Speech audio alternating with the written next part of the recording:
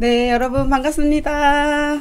어, 지난 시간에 이어서 에이커 리스트 진행을 할 텐데요. 다시 한번 지난 시간 복습 간단하게 하고 넘어가도록 하겠습니다.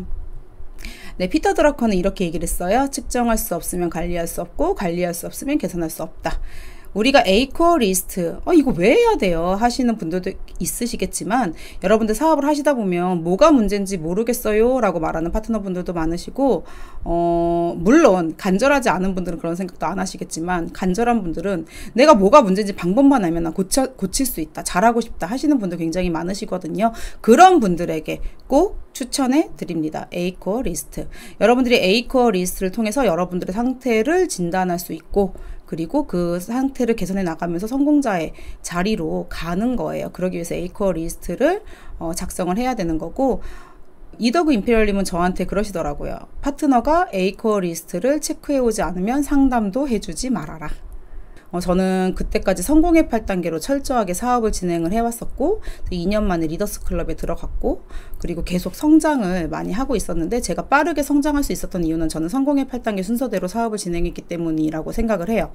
왜냐면 어 저도 처음에 사업을 시작했을 때 도대체 이 사업 어떻게 해야 돼라는 고민이 있었고 그때 많은 성공자분들의 강의를 들으면서 어 이거다 라고 생각한 매뉴얼이 성공의 8단계였어요. 왜냐하면 빨리 성공한 분들의 공통적인 강의가 성공의 8단계 순서대로 오토 판매사 방향으로 하세요 라는 강의였고 그래서 성공의 8단계 순서대로 사업을 진행하고 있었는데 어, 어느, 어느덧 갑자기 이덕우 임페리얼님께서 나타나셔가지고 사람들이 사업을 열심히 하는데 잘 안 된다고 한다. 그래서 고민을 해봤다. 이유가 뭘까? 그런데 이거더라 하면서 에이코어 리스트를 소개를 해주셨고 에이코어 리스트를 소개를 어, 체크를 해 나가다 보면 내가 왜 사업이 안 되는지 알 수 있을 거다라고 말씀을 하셨어요. 에이코어 리스트 보면은 책 읽기, VOD 시청, 미팅 참석, 제품 애용, STP 사업 설명이죠. 그리고 소비자 전달, 상담, 신뢰 쌓기 이렇게 여덟 가지 항목이 있는데 전 이 여덟 가지 항목을 전부 다 지키고 있었어요. 그러다 보니까 제가 에이코어 리스트를 보면서 아 내가 빨리 성공한 이유가 이대로 하고 있었구나. 근데 성공의 8단계 순서대로 사업을 하다 보면은요. 그러니까 물론 책 읽기는 성공의 8단계 굳이 안 들어갈 수도 있는데 저는 성공의 8단계 순서대로 했었거든요. 그리고 시스템에 무조건 참석해야 된다라고 얘기를 했었는데 시스템 참석을 하다 보면 뭐 VOD 참석, 미팅 참석은 당연히 하는 거고 그리고 도움이 될 만한 사업에 도움이 될 만한 책을 제가 항상 읽었었고 책 읽는 게 도움이 됩니다. 사업에 도움이 됩니다. 이거는 확실하게 제가 말씀드릴 수 있어요. 그래서 여러분들이 에이코어 리스트를 체크를 반드시 하시면 좋겠고요. 지난번에 소개해드린 건 마음만 먹으면 할 수 있는 네 가지. 15분 책 읽기. 책 읽기가 X인 분들이 많으세요. 제 생각에는 사업에 책 읽기가 꼭 도움이 되나라고 생각을 하셔서일 것 같은데 도움이 어떻게 되냐면은요. 전 처음에 책을 읽으면서 제가 파트너들에게 혹은 고객들에게 비전을 전달할 수 있는 내용에 대한 도움을 받았고 파이프라인 우아라는 책도 마찬가지고 그리고 나의 꿈을 나의 목표를 설정하는 데 있어서 놓치고 싶지 않은 나의 꿈 나의 인생이나 꿈꾸는 다락방 그리고 어, 브라이언 트레이시의 목표라는 책이나 이런 책들을 읽으면서 제 목표 설정과 꿈을 구체적으로 그리는데 도움을 받았고요. 물론 회장님의 균형 잡힌 삶 강의를 들어도 충분하지만 책을 읽으면 조금 더 도움을 많이 받을 수 있어요. 그리고 제가 리더스 클럽이 된 다음에는 책 읽기가 어떤 도움이 됐냐면 제가 힘이 빠지는 순간 동기부여가 됐어요. 물론 VOD 시청이나 이제 세미나 참석으로도 동기부여를 받을 수 있지만 사실 3년 이상 애터미 안에 시스템 안에 있다 보면 아 계속 들었던 강의 또 듣는 것 같은데 이런 느낌을 받을 때가 와요. 약간 정체기가 올 때가 있는데 어 그때 강의로도 약간 동기부여가 안 될 때 저는 어 자기계발서나 그런 동기부여 책들을 통해서 동기부여를 많이 받았던 것 같아요. 그래서 여러분들이 요 네 가지 책 읽기 15분이면은요, 하루가 24시간이잖아요. 그럼 하루에 1%예요. 여러분, 24시간 중에 1%를 투자해서 내 인생이 바뀐다면, 투자할 만하지 않을까요? 이더구 임페리얼님께서 추천하시는 건데, 데일 카네기의 인간관계론 읽으라고 말씀하세요. 근데 이 책이 왜 중요하냐면은요, 물론 여러분들이 고객을 상대할 때도 중요하긴 하지만, 데일 카네기의 인간관계론대로 여러분들이 사업을 진행할 수만 있다면 임페리얼까지 가는데 문제 없습니다. 왜냐하면 우리 일은요. 내 능력으로 되는 일이 아니라 내 스폰서와 나와 파트너의 능력을 잘 조화롭게 이루어서 제심합력해서 그 힘으로 성공하는 일인데 관계 맺기를 잘 못해서 오토 다이아, 오토 오토 샤론, 뭐 오토 샤론까지 가신 분들은 제가 볼 때는 거의 그걸 극복하신 분들이 많고 대부분 오토 다이아에 머물러서 그 이상을 못 가는 분들, 오토 다이아, 오토 샤론에 머물러 계신 분들 그 이상을 못 가고 어 그런 분들은 관계적인 문제, 관계의 어려움을 되게 많이 겪으세요. 그래서 분명히 이 인간관계론을 여러분들이 독파를 하면 정독을 하고 내 거로 만든다면 애터미에서 조직 관리 능력이 생기실 거예요. 우리가 조직 관리를 잘하는 방법은 인간관계를 잘 맺고 신뢰 쌓기를 잘하는 거거든요. 그래서 그게 데일 카네기 인간관계론에 분명히 있고요. 정답이 저는 성경을 통해서 그런 지혜를 되게 많이 얻어요.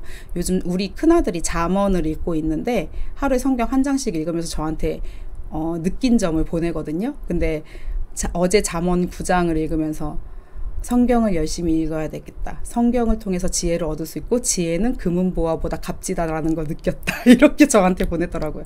여러분 11살짜리가 만 10살짜리가 그런 걸 느낍니다. 어, 그러니까 여러분들도 그게 어떤 책이라도 좋지만 소설책 읽으라는 거 아니고요. 이왕이면 추천 도서 읽으시는 게 좋겠죠. 그래서 자기계발서나 어, 이왕이면 데일 카네기 인간관계론 추천해 드립니다. 그리고 어, VOD 시청 지금 특히나 애터미에는 굉장히 많은 컨텐츠들이 올라와 있죠. 그래서 어, 이덕우 임페리얼님께서 원래 에이코어 리스트가 다른 네트워크 마케팅에서 하던 건데 어, 다, 그런 나, 다른 네트워크 회사에서는 이게 책을 만들고 어, 영상도 테이프로 제작을 한대요. CD로. 그래서 판대요.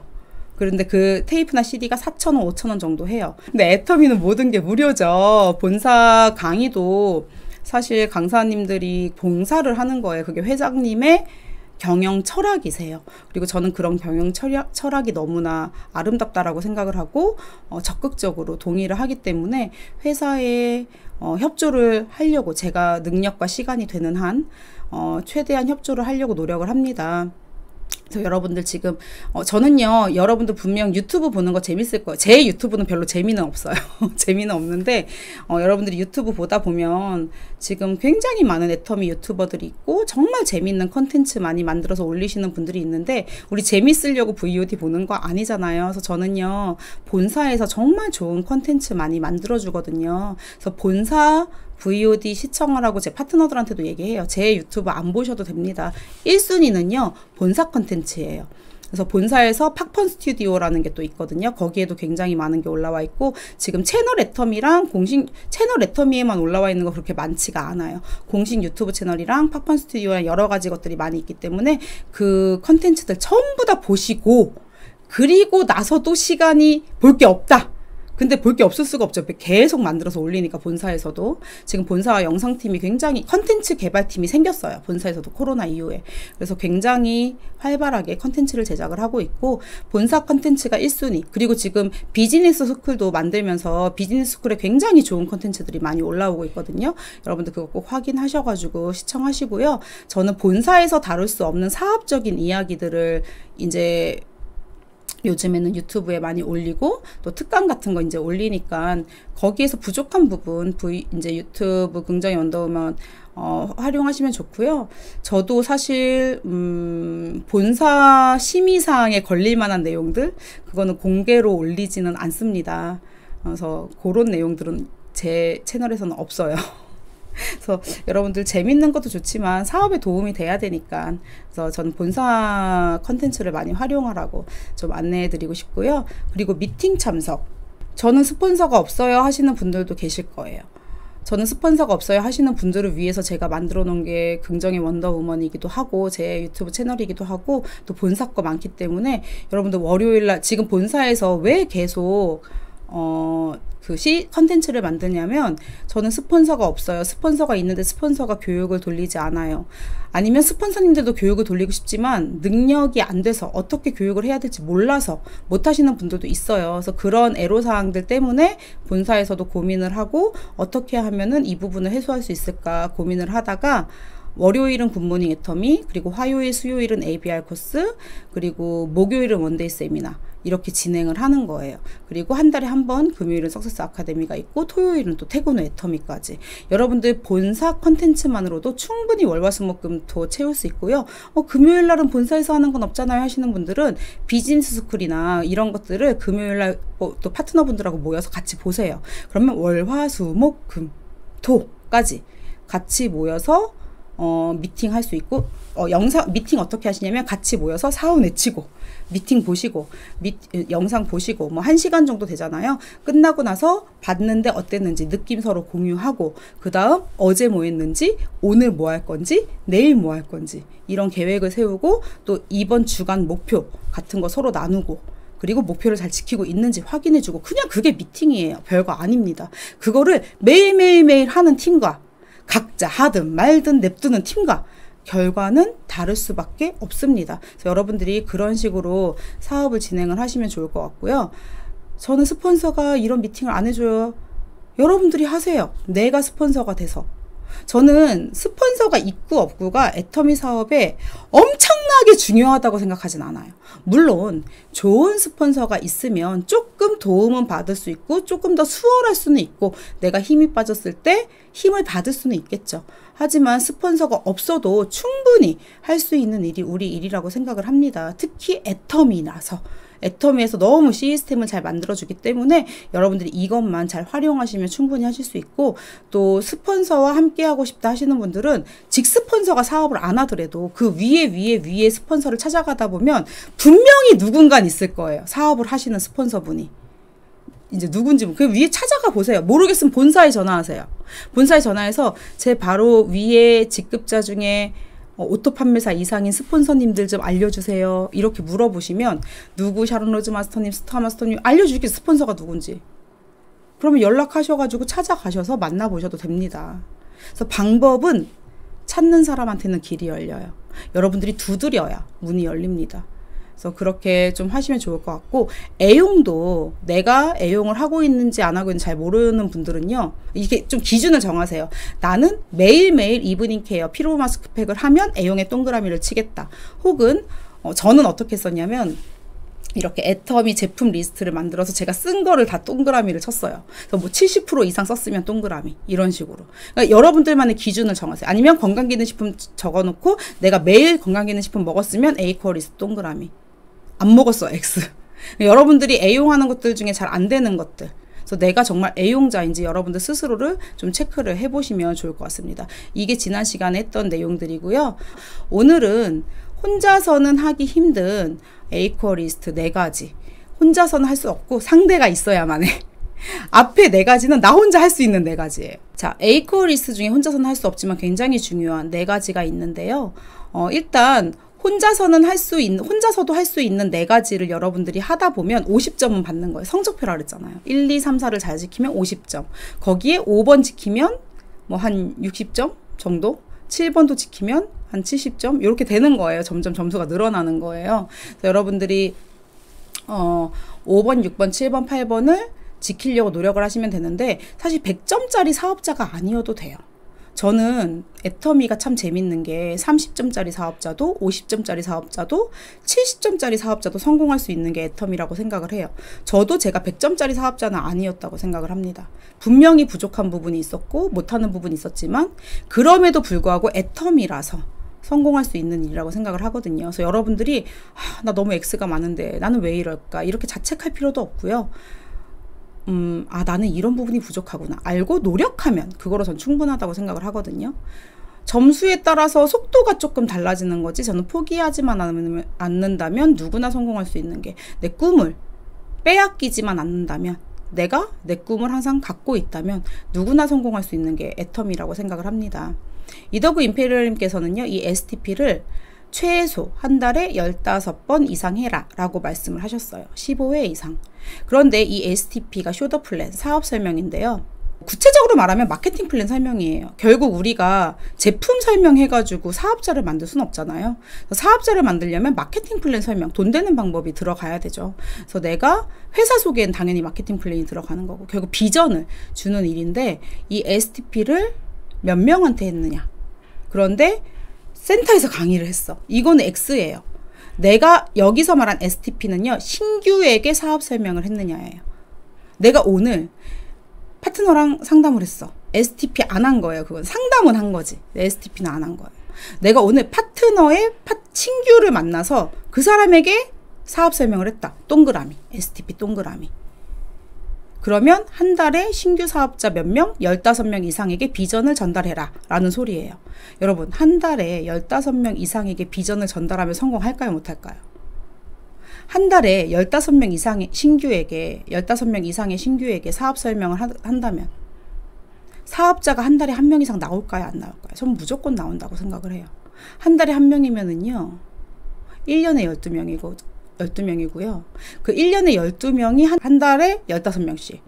그래서 내가 그분들에게 STP를 한다면은요, 그 다음에는 144명이 될 수도 있는 게 바로 우리 일이에요. 그래서 굉장히 배수의 원리로 늘어날 수 있는 일이기 때문에 여러분들 STP 중요하고요. 이걸 복제를 시키셔야만 합니다. 복제를 못 시키면 144명한테 언제 STP를 여러분들이 하실 건데요. 그래서 우리 일이 막히는 거예요. 내가 멈춰 있는 이유는요, 나한테 문제가 있을 수도 있고, 복제를 못 시켜서 일 가능성도 되게 커요. 그리고 그 복제는요, 시스템 속에서 시킬 수 있어요. 여러분들 시스템이 중요한 이유가 복제 사업이기 때문이에요.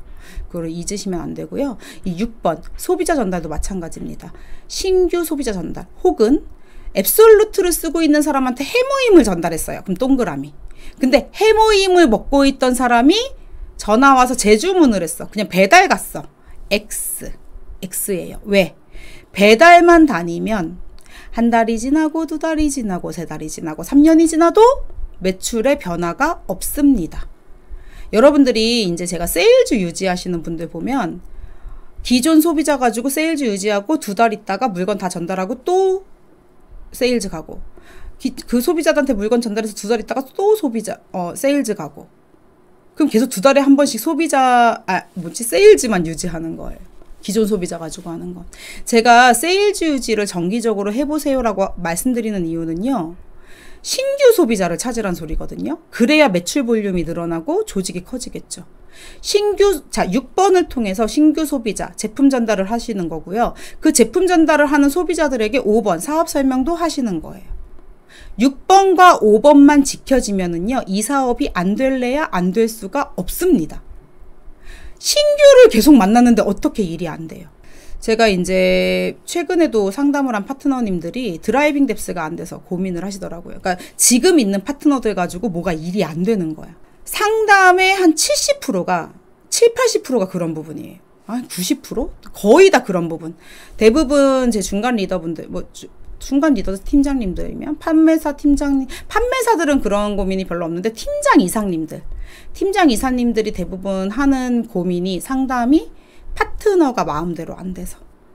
파트너가 일하는 거 보면 답답해서. 자, 파트너가 일을 안 하든지, 파트너가 나와 소통을 안 하든지, 파트너가 일하는 게 답답하든지, 파트너가 능력이 없든지, 뭐가 됐든 간에 파트너한테 문제가 있으면 여러분들은 어떻게 하셔야 될까요? 답은 하나예요. 이 파트너를 변화시키려고 하니까 이거 상담이랑 연결되네요. 이 파트너를 변화시키려고 하니까 답이 안 나오는 거예요. 여러분들 자식 여러분들 마음대로 됩니까? 남편, 와이프 여러분들 마음대로 됩니까? 내 가족도 내 마음대로 안 되는데 어떻게 남을 변화시키겠어요, 내가. 여러분들 어떻게 하셔야 되냐? 파트너들이 변하지 않아서, 파트너들이 답답해서, 파트너들이 문제가 있어서 고민이다. 그럴 때는요, 그 밑에 새로운 파트너를 찾아 내려가시는 거예요. 그게 driving depth예요. 계속 새로운 소비자, 새로운 사업자를 찾아서 내려간다? 이게 정답입니다. 이덕우 임페리얼님 라인에서 하는 강의 중에 이제 driving depth 강의가 있는데, driving depth를 해라. driving depth가 뭐예요? 라고 물어보시는 분들이 있는데 끊임없이 새로운 사업자를 밑으로 찾아서 내려간다. 이거에 쉽게 설명하자면. 그래서 여러분들이 마음에 드는 파트너가 한 명도 없다. 제대로 하는 파트너가 한 명도 없다. 자, 여기서 마음에 드는 파트너가 한 명도 없을 때 파트너가 문제일 수도 있고 내가 문제일 수도 있어요. 내가 문제라서 마음에 드는 파트너가 없을 수도 있는데 어찌됐던 간에 이런 상황이다. 해결책은 새로운 사람을 찾아라. 끝! 파트너들이 이래서 문제예요. 라고 상담을 하는 게 아니라 이 파트너가 이런 문제점이 있어서 제가 새롭게 이런 사람을 찾았는데 이 사람은 어떤 식으로 복제를 시켜 내려가면 좋습니까? 이게 더 상담을 잘하는 거예요. 근데 여러분들이 이미 답을 알고 있어요. 제가 알려드렸으니까. 성공의 8단계 순서대로 하도록 에이코어 리스트 작성을 하도록 복제를 시켜 나가시는 거예요. 근데 성공의 8단계대로 안 하고 에이코어 리스트 작성 안 해. 그럼 어떻게 하셔야 돼요? 다시 찾으세요. 다시 찾으시고 끊임없이 저는 제가 지금 성공의 8단계의 강의를요 9년째 하고 있어요. 에이코어 리스트 강의를요 6년째 하고 있어요. 그럼에도 불구하고 제 파트너들 중에 복제가 한 10%에서 20%만 됐어요. 쉽지 않다는 거죠. 복제를 시키는 게. 강의만 했을까요? 전 강의만 한 게 아니라 제가 직접 이렇게 실천을 했어요. 실천을 했으니까 강의를 할 수가 있겠죠. 여러분 지식으로만 하면은 절대 강의를 못 해요. 상담. 스폰서와 상담하세요. 저는 상담할 스폰서가 없어요. 자, 상담할 스폰서가 없는 이유가 여러 가지가 있는데 첫 번째, 내 스폰서가 떠났다. 사업을 안 해. 그래서 상담할 스폰서가 없다. 그럼 어떻게 하셔야 돼요? 그 위에 스폰서 찾아가셔야죠. 왜 없어요?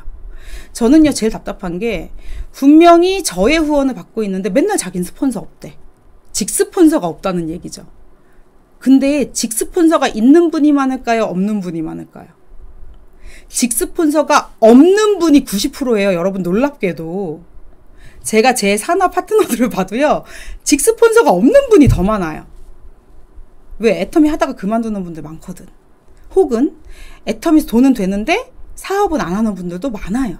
왜 애터미 시스템이 그런데 어떻게 해요? 근데 여러분들이 상위 스폰서로 누군가가 상담할 스폰서라도 있으면 다행. 그런데 상담할 스폰서가 너무 멀어. 나는 에이전트인데 우리 다 세, 세일즈도 사업을 안 하고 다이아도 사업을 안 하고 샤론도 사업을 안 하고 스타도 사업을 안 하고 로열 마스터밖에 없어. 이럴 경우에 어떻게 하면 좋을까요? 그래도 하세요. 그런 스폰서를 찾으시면 있습니다. 반드시 찾으시면 있습니다. 여러분들 스폰서를 안 찾으실 분이에요. 그래서 그런 스폰서를 찾으셨으면 좋겠고요. 어, 그리고 신뢰 쌓기.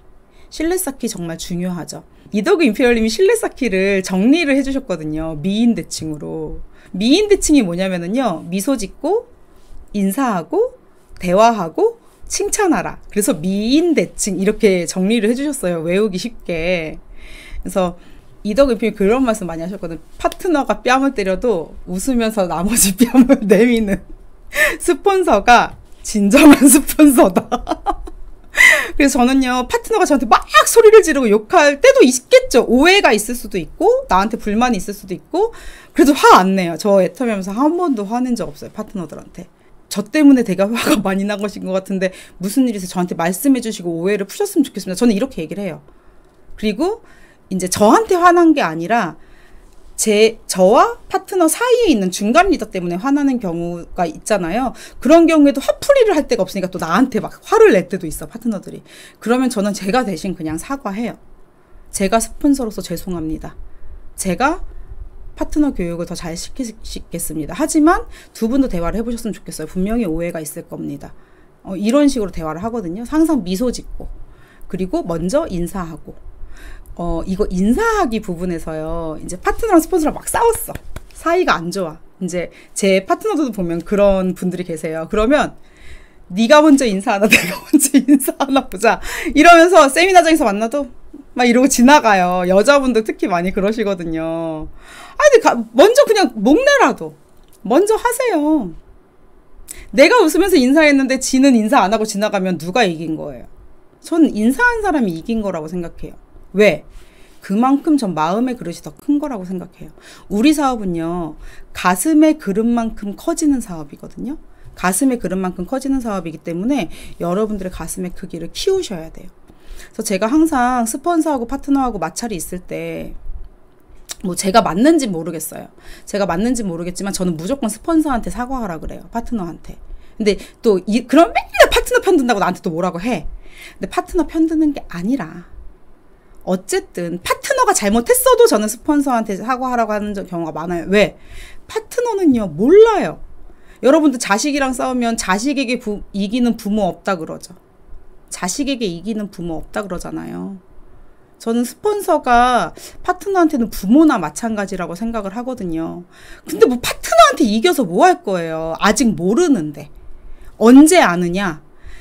내 상황이 돼야 알아요. 지금 제가 어떤 말을 해도 못 알아듣는 파트너님이 로열 리더스가 되면 분명히 제가 지금 하고 있는 말을 알아들을 거란 말이에요.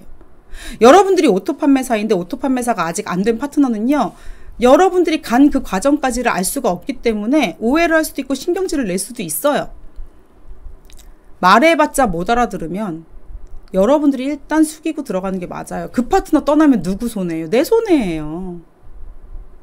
그런데 저런 파트너 필요 없어. 저런 파트너 필요 없어. 누구랑 사업할 건데 도대체. 사업할 사람이 없어. 다 떠나보내고. 그래서 미소 짓고 인사하고 대화하고 대화, 소통. 정말 중요하죠. 그런데 이제 특히 제가 요즘 2030 사업자들이 많이 나오면서 음, 젊은 사업자들이 이 소통에 대해서 되게 불편함을 많이 느끼더라고요. 저도 사실은 만나서 특히 뭐 연세가 정말 많으시거나 아니면 나랑 좀 어, 불편한 파트너들도 있잖아요. 성깔 더럽고 말 함부로 하고 그런 파트너 불평 불만 많고 그런 파트너님들하고 상담할 때 저도 스트레스 받아요. 흰머리가 얼마나 많은지 아세요? 흰머리가 얼마나 많은데요. 그럼에도 불구하고 우리는 소통하는 사업이니까. 그래서 제가 막 소통의 기술 이런 책도 읽고 대화의 기술 그런 책도 되게 많이 읽었어요. 과거에는 모르겠어요. 저랑 상담하고 불편했던 분도 있었을 거고. 근데 지금은 뭐 물론 아닌 분도 계시겠지만 뭐 대부분은 어 총장님이랑 상담하고 나니까 마음이 너무 편해졌어요. 총장님이랑 상담하고 나니까 힘이 나요 라고 말씀해 주시는 분들이 대부분 많거든요. 예전에 이제 김현숙 임페리얼님도 그렇고 많은 이덕 임페리얼님도 그렇고 많은 스폰서 분들이 성공자 분들이 강의를 할 때 총학군 파트너한테 또 총 쏘지 말아라. 막 이런 강의 같은 거 하신 적 있었는데 그게 무슨 얘기인지 몰랐거든요. 근데 제가 이제 알겠더라고요. 꿈이 있는 파트너는요, 절대로 포기하지 않는데, 언제 포기하고 싶어지냐면은요, 나를 가장 응원해줄 스폰서가 힘을 뺄 때. 내가 가장 신뢰하는 파트너가 내 편이 아닐 때. 이제 이럴 때 힘이 빠져요. 근데 파트너는 어쩔 수 없는데, 스폰서라면, 내가 그 사람 편안 들어주면 누가 여러분 부모가 자식 편 안 들어주면 누가 내 편 들어주겠어요? 맞죠? 그래서 물론 파트너가 잘해서가 아니라 잘해서가 아니라 그러니까 그렇다고 무조건 칭찬하라는 건 아니고 어 잘못한 건 조언은 해주셔요 근데 조언 해 주실 때도 사장님 그런 식으로 하시면 되시겠어요? 이렇게 얘기하는 거랑 사장님 아, 진짜 힘드시겠네요. 저도 알아요. 저도 사장님처럼 그랬을 때가 있었습니다 그런데 이렇게 하는 것보다는 이렇게 하는 게 더 낫지 않을까요? 제 경험상 이렇게 했던 게 더 나았는데 물론 사장님 생각이 맞으실 수도 있죠. 그런데 제 조언 제가 어, 드리고 싶은 말씀은 이런 부분입니다라고 얘기를 하던가 아니면 스폰서를 많이 활용해서 하세요. 제가 지금 이덕우 임페리얼님이 성공자분들이 이런 얘기 많이 하죠. 사장님이 이렇게 하시는 거 좋은 방법일 수도 있는데요. 많은 성공자분들이 이렇게 하는 게 더 좋다고 이야기하더라고요. 이런 식으로. 어, 대화의 스킬이죠. 그래서 여러분들 대화하는 거 되게 중요하고요. 자꾸 대화하고 상대방의 마음을 알아야 팀워크도 맞출 수 있어요. 그래서 어떻게 일하고 있는지를 알아야지 또 조언도 해줄 수가 있거든요. 그래서 저도 상담을 해보면 상담 오랫동안 안 하다가 갑자기 상담을 하려 그러면 이분하고 뭔가 손발을 맞추기가 힘들어요. 그런데 한 번, 두 번, 세 번, 네 번 그 과정이 몇 개월이 걸려요. 몇 개월이. 따로따로 2년, 3년 일했던 파트너하고 다시 손발 맞춰서 일하려면 몇 개월, 1년 이상이 걸린다고요. 그래도 불구하고 그런 노력이 전 지속적으로 필요하다고 생각을 해요. 많은 분들이 직급을 잘 못 가는 이유가 뭐냐면요. 평소에는 대화를 안 하고 있다가 직급 갈 때만 되면은 사장님 국장 유지하실 수 있으세요? 사장님 팀장 유지하실 수 있으세요? 아, 내가 파트너면 되게 기분 나쁠 것 같아.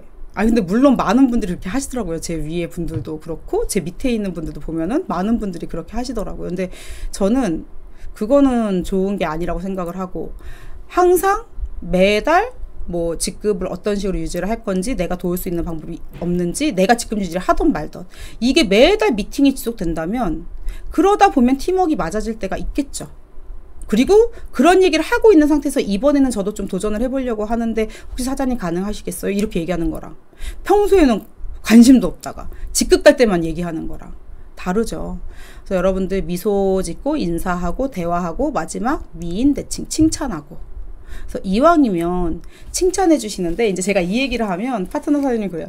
그런데요 잘못했는데도 칭찬해 줘야 돼요? 이렇게 물어봐요.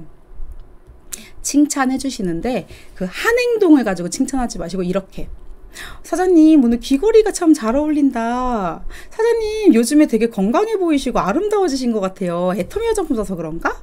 사장님 혈색이 너무 좋아요. 오늘 기분 좋은 일 있으세요? 일단 칭찬하고 그런데 오늘 시스템에 안 들어오시고 현장 나가셨다고 들었는데 소비자 만나고 오셨어요? 뭐 소비자 만나고 갔다고 하면 아우 잘하셨네 고생하셨네 그런데요 성공자분들께서 혹은 뭐 이더 임페리얼님도 다 파세요. 괜찮아. 이더구 임페리얼님, 김현숙 임페리얼님 다 팔아도 돼. 박정수 임페리얼님 다 파세요. 괜찮습니다. 그분들 우리한테 절대로 뭐라고 안 해요. 뭐 박정수 임페리얼님이 그러셨는데요. 이덕우 임페리얼님이 그러셨는데요. 현장도 중요하지만 1순위는 시스템이라고 말씀하셨어요. 그래서 일단 교육에 참석하시고 다른 시간에 소비자를 만나는 건 어떨까요? 이렇게 상담을 하시면 더 좋지 않을까요? 그래서 여러분들 상담에도 기술이 필요하기 때문에 여러분들이 좋은 스폰서하고 많이 상담을 받아보면은요, 나도 또 좋은 상담 방법이 스킬이 나오거든요. 그래서 상담을 많이 받아봐야 상담을 할 수가 있어요. 근데 이제 문제는 상담을 많이 받았는데 나도 맨날 혼나는 상담. 여러분들 그런 왜매 맞고 자란 자식이 커서 또 때린다 그러잖아요. 맨날 총질을 당했어 스폰서한테. 그래서 파트너도 똑같이 하시면 안 돼요. 내가 스폰서한테 아픔을 많이 당했다. 그럼 나는 파트너한테 어떻게 해야 돼요? 그렇게 하지 말아야지. 그리고 총질 많이 안 하는 스폰서 찾아가서 배우세요. 상담의 스킬을. 제가 상담의 스킬을 이덕우 임페리얼님한테 배운 거예요, 사실. 근데 이덕우 임페리얼님은 뭘 많이 하셨을까요? 제가 이덕우 임페리얼님하고 상담할 때마다 저 혼자 말한 기억밖에 없어요. 아무 말씀도 안 하셨어요, 항상. 근데 제가 지금 들어 생각을 해보면 해줄 말이 없으셨던 것 같아요. 왜냐면 제가 맨날 상담할 때 제 산하의 문제점만 상담했거든요. 문제가 있었을 때만. 자, 저는 그래 잘될 때 상담할 필요가 없잖아요. 잘 하고 있으니까. 근데 문제가 터졌을 때만 상담을 했고 이덕우 임표님께서도 제 산하를 잘 모르니까 어떻게 해결해 주셨을 주실 수 있을지 모르셨겠죠. 그러니까 듣기만 하셨어요. 그리고 가끔씩 듣다가 그러면은 이런 상황을 만든 건 누구 잘못일까? 이런 질문을 한 번씩 하세요. 그럼 제가 가만히 있다. 제 잘못이에요. 끝. 상담 끝. 그럼 저 집에 와서 또 반성. 근데 어, 이더그 임페리얼님이 거의 듣기만 하셨는데 저는 그 누구보다 그 어떤 스폰서하고 상담을 하는 것보다 위안을 가장 많이 받았어요. 왜 그럴까요? 여러분들 들어주기만 하는 게 해소가 될 때가 있어요. 그래서 제가 그걸 보면서 아 이게 상담이구나. 들어주는 거. 들어주고 이해해주고 들어줬는데 진짜 불평불만이야. 얘가 문제야. 저 그, 그럼 그냥 듣고만 있어요. 저는 아 그러시구나. 아 그러시구나. 힘드셨겠네요. 제가 해드릴 수 있는 게 없어서 죄송합니다. 저도 그렇게 상담을 하니까 어느 순간 파트너들의 이런 마음이 풀리더라고요. 그래서 여러분들 좋은 스폰서는요. 잘 들어주는 스폰서예요.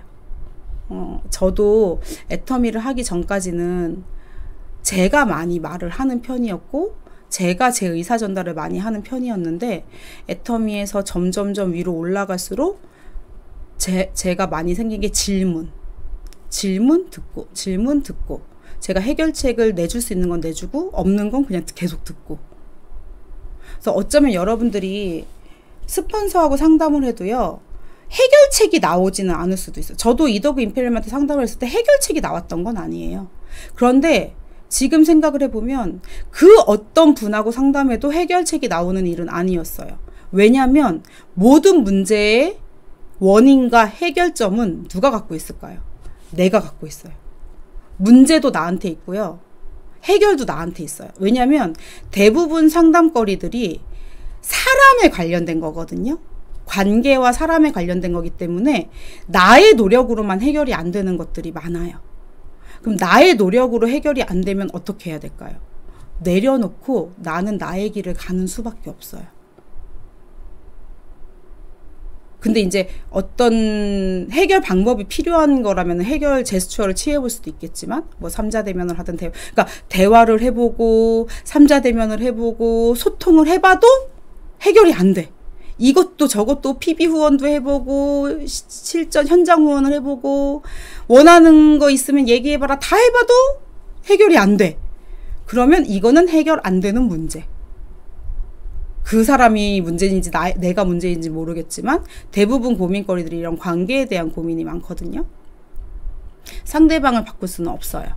그럼 내가 포기하던가 내려놓던가 이해하던가 그리고 나는 그냥 나의 갈 길을 가는 거예요. 그래서 여러분들이 이 에이코 리스트 앞에 네 단계는 되게 가벼운 것들 나 혼자 할 수 있는 근데 뒤에 이 네 가지는 다섯 번째 여섯 번째는 어떻게 보면은 아직 에이전트인 분들에게 굉장히 에이전트나 오토 판매사 판매사 정도 분들에게 굉장히 필요한 것들이고 5번 6번을 열심히 하는 과정 중에서는 여러분들이 이렇게 관계에 대해 힘든 거는 별로 없어요 5번 6번을 하는 과정 중에서 힘든 건 나 자신과의 싸움이에요 그런데 파트너가 많이 생기고 나서 의 문제에서는 이제 이 7번, 8번에 대한 고민들이 많이 생기실 거예요. 그리고 그거를 잘 해결해 나가는 사람이 로얄 마스터, 크라운 마스터, 임페리얼 마스터까지 갈 수 있는 거고요. 잘 아시겠어요? 오늘 에이커 리스트가 도움이 되셨을지 모르겠는데 여러분들 사실 에이코어 리스트 1번부터 8번까지 한 단계 한 단계를 하루 종일 얘기해도 저는 얘기할 수 있어요. 근데 뭐 제가 3시간, 4시간을 할 수는 없잖아요. 제가 예전에 오프라인, 가, 전 파트너들 놔두고 강의할 때, 갈 사람은 가세요. 이러고 제가 막 3시간, 4시간도 강의하고 막 이런 적도 있어요. 열정이 넘쳐가지고. 근데 요즘에 제 파트너 중에 그런 분이 한 분 계세요. 근데 제가 아, 저분 저러면 안 되는데 싶더라고요. 근데 저는 적어도 갈 사람은 혹시 여러분들이 너무 파트너들한테 해주고 싶은 얘기가 많아가지고 3시간이고 4시간이고 계속 얘기하고 싶다. 갈 사람은 가라고 말씀하셔야 돼요. 그래 파트너들이 부담을 안 가죠. 저는 항상 갈 사람 근데 이제 갈 사람은 가세요라고 해도 스폰서 눈치 보이니까 못 가는 분들도 계시잖아요. 그래서 여러분들이 이제 항상 그런 거 잘 생각하면서 하셔야 되는데 어쨌든 이게 짧은 시간 안에 다 모든 걸 전달해 주기는 되게 어려운 내용이지만 어 저는 최대한 제 경험을 많이 여러분들에게 디테일하게 전달해 드리려고 노력을 하는 거고 결국 여러분들이 이거를 여러분들 거로 만들기 위해서는 여러분들이 직접 경험해 보고 느끼고 체험해 봐야 되는 수밖에 없고요. 어, 리더스, 로열 리더스 분들과 많은 대화를 하면서 그 경험들이 여러분들의 간접 경험이 그냥 되실 뿐이에요. 근데 여러분들의 환경과 조직과 사람에 따라서 어, 다른 상황이 생길 수도 있기 때문에 문제가 생기긴 생기지만 여러 가지 다양한 문제들이 생길 수 있기 때문에 그거는 여러분들이 그때그때 부딪혀가면서 해결을 해 나가시면서 내 거로 만드시는 게 좋을 것 같고 어, 여러분들이 그런 과정을 통해서 에이코 리스트 습관을 만들면 여러분들은 성공자의 자세를 익히는 거고 성공자의 자세가 되었을 때 성공을 할 수 있다라는 거 잊지 마시고요. 제가 본사에서 예전에 에이코 리스트 강의를 한 적이 있는데 그때 제가 이렇게 얘기를 했어요. 요알못 아시죠? 요리 알지도 못하는 사람들 요알못들이 요리를 잘하려면 어떻게 해야 돼요? 요리 레시피 보고 그대로 따라하면 되거든요. 여러분들이 성공하고 싶으면 성공 레시피를 그대로 따라하면 돼요. 성공 레시피는 바로 성공자가 걸어간 길. 많은 성공자분들은 성공자가 걸어간 길이 곧 시스템이다 라고 말씀을 하셨고 이더그 임페리엄께서는 시스템은 성공의 8단계와 에이코어 리스트다 라고 말씀을 하셨어요.